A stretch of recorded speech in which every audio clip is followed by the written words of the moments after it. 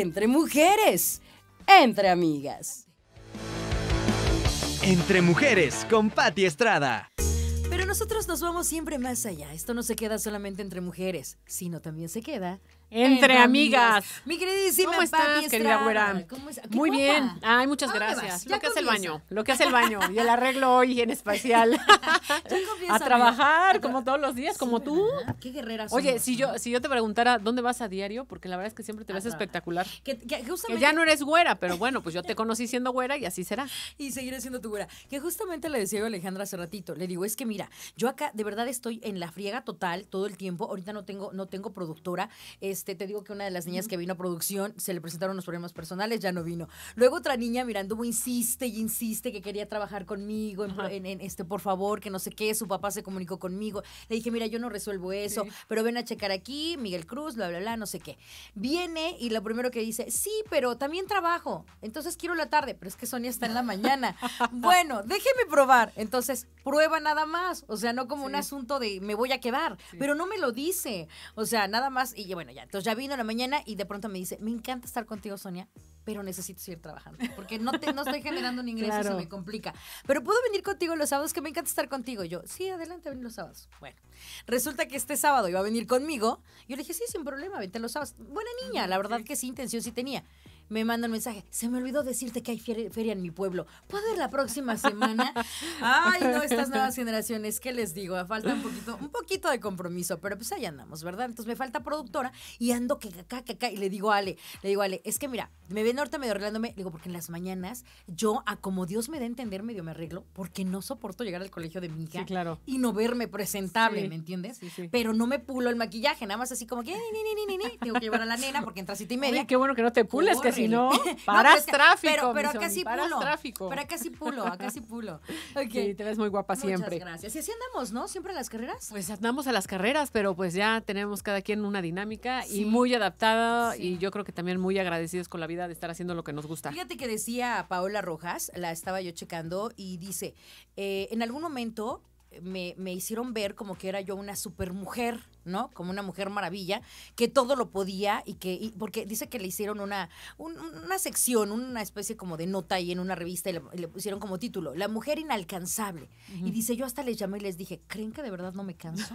Dice, estoy agotada. Ajá. O sea, estoy agotada y a veces no lo termina de entender el sexo masculino de que es trabajar en el, en el trabajo cotidiano de la actividad de tu profesión, más la casa y más los hijos. Porque, ojo, el que haya mujeres que, que no tengan hijos no significa que no estén pendientes de su casa. Claro. A veces son las que tienen que ver que si el marido, el traje, que si la ropa, que si la fiesta, que si el no sé qué, que si el no sé cuándo, que si hay, bueno, hasta el rollo. Se les complica de pronto decir hay, hay papel de rollo. Entonces, ¿hay rollo? Sí, no hay rollo, ahorita voy a comprar. O sea, lo tiene uno que resolver. Y ahora súmale a que tengas este hijos. Yo he dicho muchas veces que tener un marido, y sobre todo en las, en los, en las décadas pasadas, quiero pensar y suponer que ahora los hombres ya son como más, este, hay, hay- hay un término que les han dado a los hombres, funcionales Ok. ya son más funcionales en la actualidad. Yo ya veo a chavitos que, por ejemplo, Charlie, este, ya, ya, te, ya te dice, es que lavo los fines de semana. ¡Qué padre! Ah, muy bien, Charlie. Y- muy bien. Y, y muchos hombres al día de hoy esperan eh, justamente eso, el reconocimiento como un ¡Wow! Cuando nosotros lo hemos hecho con una cosa cotidiana normal, Sí. ¿no? De actividades de casa y también lo. Oye, lo pero preferible sorprendernos de que haya más hombres que se están involucrando Sí, a que claro. sigamos lamentando que no. Sí, no, no, no es que les esté diciendo que esté mal esa Tú sorpresa. sigue pero- lavando.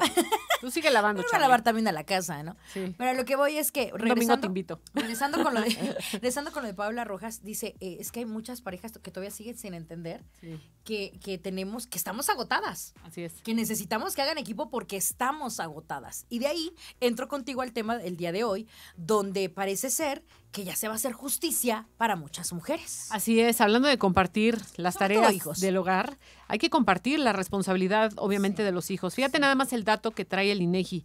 De cada 10 divorcios, 7 padres no cumplen con la pensión alimenticia. Y entonces esto se ha convertido en un problema muy grave que requería soluciones. Ahora, ¿qué solución hoy tiene ya en el país? Que el Senado de la República ayer, por unanimidad, que nada más voy a hacer un paréntesis, yo lo comentaba en la mañana, no sé dónde no andaban 44 senadores, porque tenemos 128, no tenemos Pues muy 86. Ocupados, Pati, muy ocupados. tenemos en un- 86. En un, desayunito, en, en una reunión. Sí, sí, sí, ¿verdad? atendiendo muchos temas. Atendiendo muchos pendientes. Pero este tema es altamente importante y bueno, lo más relevante, Sony, es que aquí se aprobó por parte de los senadores la creación del Registro Nacional de Obligaciones Alimentarias. Esto va a ser un órgano auxiliar del Consejo de la Judicatura Federal que va a tener como finalidad identificar a los deudores y los acreedores de obligaciones alimentarias establecidas en una resolución judicial.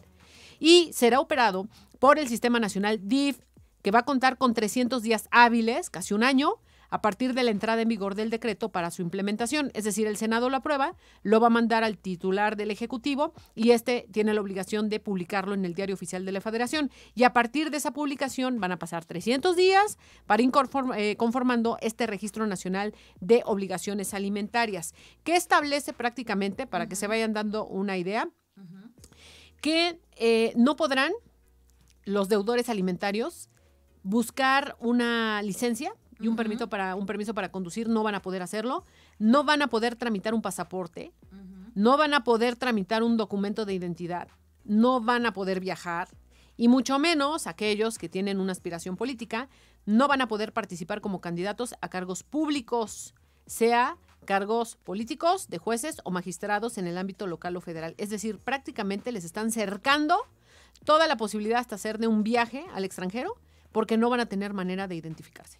Fíjate que aquí quiero hacer algunas acotaciones. Primero y antes que nada, así como decía yo hace un momentito y destacaba yo de los hombres funcionales, hay hombres funcionales también, que mis respetos, Patti, que en tiempo y forma entregan su pensión, que en tiempo y forma están pendientes de sus, de sus hijos y han estado durante los años en los que no han convivido con la pareja, pero siguen conviviendo también con sus hijos, porque no nada más se trata de dinero, ¿eh? También se trata de atención para con los hijos. Mis respetos para ellos, son hombres funcionales que saben perfectamente que no hay que ir detrás de ellos a estarles recordando sus responsabilidades. A mí, ¿cómo me caía mal? Yo tuve una pareja, para ti, este, que yo sabía perfectamente la parte de mis deberes cuando vivimos en, en- en pareja, sabía perfectamente la parte de mis deberes y cuando le, le tocaba el turno a él era estarle diciendo cada ratito, oye, hay que pagar esto, hay que hacer lo otro. Lo hacía, pero lo hacía hasta que se le hinchaba la regalada gana y es un desgaste que termina desgastando la relación porque te terminas viendo como la pareja jodona por estarle re- recordando algo que debería de ser in situ desde el principio que lo hiciera Claro. sin tener que estarle diciendo y era enormemente desgastante. Lo mismo pasa con este asunto de las pensiones. Si tú sabes que tus hijos comen, eh, visten, calzan, van a la escuela, etcétera, etcétera, se requiere ese sustento. Y luego están aquellos, Pati, que te quieren dar cinco pesos y todavía se vanaglorian de que te están dando un montón. Es que fíjate, hemos transitado de aquellos que no lo sentían una obligación, Ajá. aquellos tiempos en donde también era ahora sí que a negociación de los particulares, ¿no? Claro. Y estar pichicateándole ahí la pensión, a eh, estar en estos tiempos en que ya es una obligación por ley y ahora van a apretarlo, porque creo que también se dieron cuenta que la legislación anterior no estaba lo suficientemente fuerte para garantizar el- el, eh, la cobertura de esos gastos, ¿no? Oye, Pati, perdón que te, te- haga un paréntesis también ahí. ¿Qué ocurre con aquellos que son tan infames que prefieren dejar el trabajo antes que pagar la pensión para con los hijos y que argumentan, arguyen, es que no tengo un trabajo estable? No se puede evadir ya esa responsabilidad, ¿no? No se puede evadir porque hoy la ley también fiscaliza a las empresas, es decir, cuando se da ya un trámite de divorcio y se tiene que discutir la pensión alimenticia, entonces el juez dice, a ver, señor, ¿usted a qué se dedica? No, pues yo soy freelance o trabajo en el transporte público, soy Uber o soy, Soy taxi, comerciante, soy comerciante, tengo forma de probar". no tengo manera de comprobar ingresos. Suena. Mm, Tú conoces a Marta Butrón, que además es una Sí, gran abogada, sí, sí, sí. y Marta, y Marta siempre dice, siempre hay forma de comprobar ingresos, siempre hay forma de comprobar ingresos. Y claro, no puede ser que vayas hoy a una agencia automotriz y sea muy fácil tramitar un coche sin necesidad de presentar tus estados financieros y no sea tan fácil tramitar una pensión porque el señor no presenta los estados financieros. Entonces, es por ley, de que comprueban, comprueban. Y dos, también está penado que esas empresas eh, les hagan a los trabajadores incumplidos con sus hijos el caldo gordo, es decir, no te preocupes, te reduzco en la nómina el salario, aunque por debajo te lo siga yo dando completo, para que el Seguro Social, para que el SAT, para que el Poder Judicial no te caigan con el salario original. Entonces, eso está penadísimo y yo creo que con este registro sí habrá como una lista negra enorme, más allá de los políticos, de ciudadanos de a pie que no están cumpliendo con la responsabilidad, pero no solamente hombres, Sony. Estará también el tema del otro lado, de hay mujeres, no siempre, pero sí hay mujeres. No son, no, no son más los casos, pero también ya se da, vamos a decirlo con todas sus letras. Porque la ley no es exclusiva para los hombres, la ley obviamente es para hombres y mujeres. Entonces, mujeres que también estén eh, recibiendo la pensión alimenticia y se nieguen a darle los derechos al padre, pues obviamente tiene una consecuencia. De tal suerte que aquí lo más importante es que los niños no quedan desprotegidos, porque cuántas historias en estos años, 30 o 40 años, se han escrito de papás que renunciaron a su trabajo, Sony, con tal de no darles, obviamente, pensión a los hijos. Pero ¿sabes cuál es el problema? Que yo creo que como adultos no terminan de asimilar que se rompe la relación de pareja la relación con los hijos jamás se rompe, pero es tanto el odio que queda entre esas dos partes que son los hijos los que pagan los platos rotos. No, y, conocemos N cantidad de historias que son las más, desafortunadamente. Vuelvo y repito, hay hombres muy responsables con sus deberes que tienen bien adjudicado el, el, adjetivo de papá en, al 100%, o sea, pero, pero al 100%. Pero los que más se desentienden con muchísima facilidad o son simplemente proveedores, se desentienden de la parte emocional de los hijos y simplemente dicen que cumplen y cumplen con el mínimo, con lo que creen ellos que es lo necesario para con los hijos y no toman en cuenta que los hijos también necesitan divertimento, que los hijos también necesitan salir. ¿Cuántos no, verdad, se jactan de decir, no tengo dinero, no puedo, no sé qué? Y al ratito te, enteras, ni siquiera que los andes espiando, te enteras que ya andan viajando, andan en la playa, se compraron un nuevo coche o andan faroleando con una moto y cosas de esa índole. Entonces, conocemos N, N historias. Escuchaba una recientemente de una famosa influencer este, que decía que ella creció sus primeros años de vida eh, con sus papás pensando que todo era maravilloso y que nunca le faltó ir a una a un Disneylandia, o sea, la verdad vivía bien, estaba en una posición cómoda. Un día su mamá le dice, ¿sabes qué? Estaba en casa de una amiguita, quédate con la amiguita, le se sorprendió porque dice que, que la, la, mamá jamás le permitía quedarse fuera de casa y ese día le dijo, quédate con la amiguita, mañana paso por ti. Al siguiente día la señora pasa por su hija, le dice, tu papá y yo nos estamos separando. Dice, a partir de ahí las cosas completamente cambiaron, a tal punto que pasé de ser una niña que no tenía ninguna carencia a darme cuenta que mi papá nos estaba peleando hasta la casa. O sea, y ella, ella, y ella cuenta, dice, yo era la niña que se ponía en la ventana a esperar a su papá porque era mi héroe era mi ídolo, era lo máximo para mí. Entonces, eh, ver llegar a mi papá del trabajo era para mí lo máximo. Y pues evidentemente cubría las necesidades de papá económicas.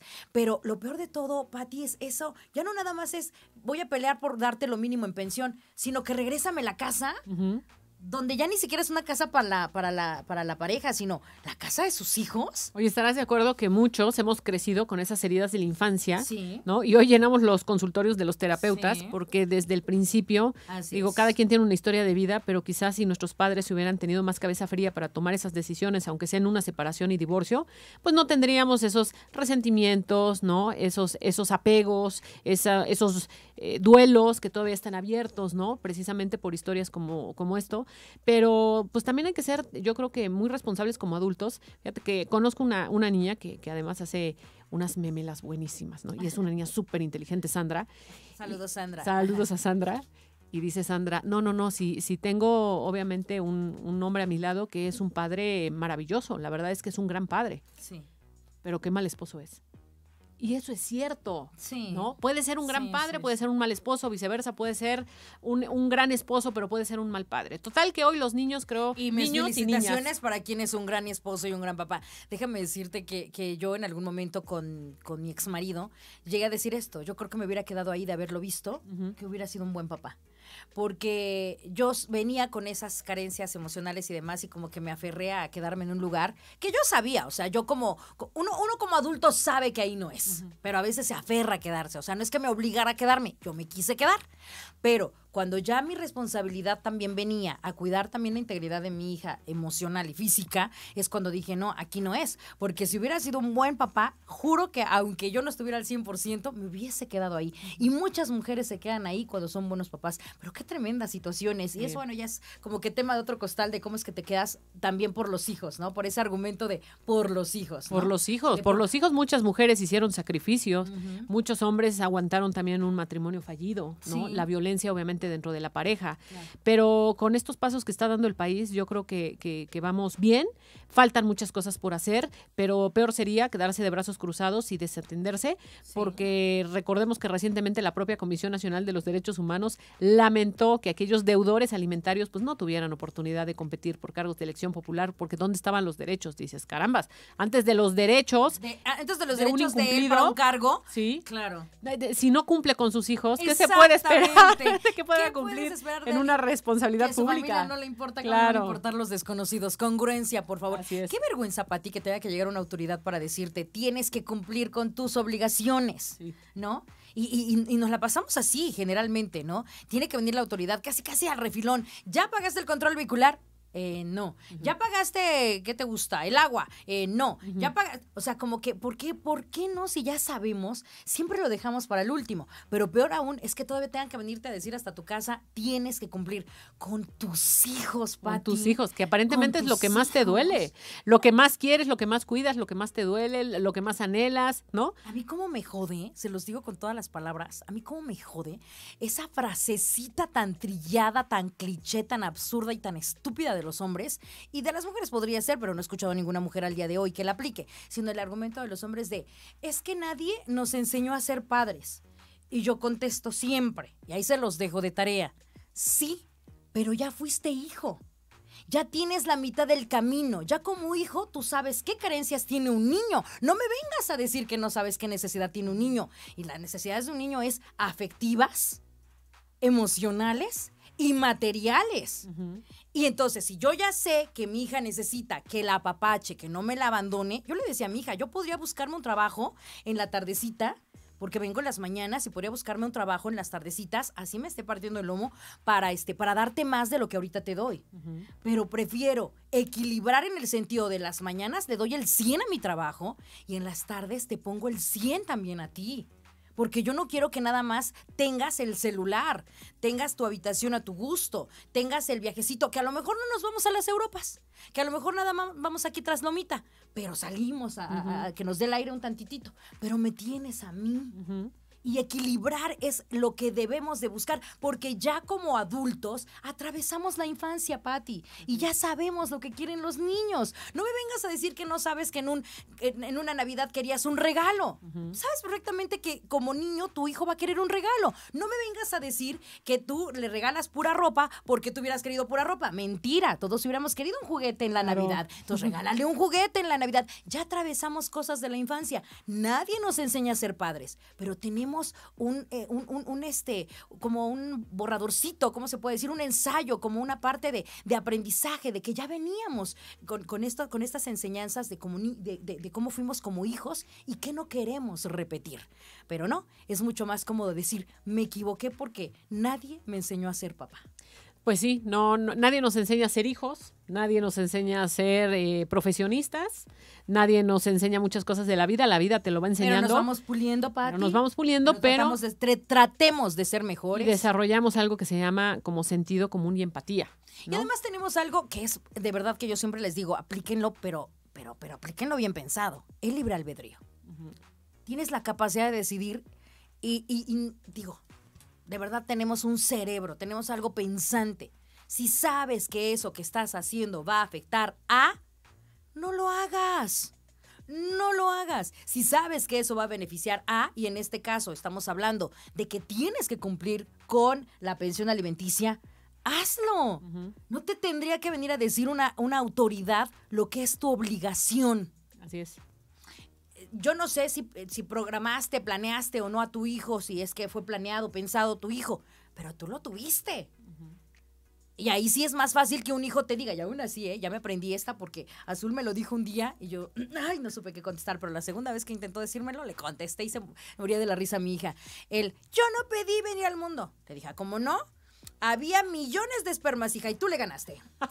Tú le ganaste porque desde entonces te querías lucir, querías ser la primera, entonces aquí estás porque eres la más chingona. Entonces, entonces ya aquí estás, no me eches la culpa.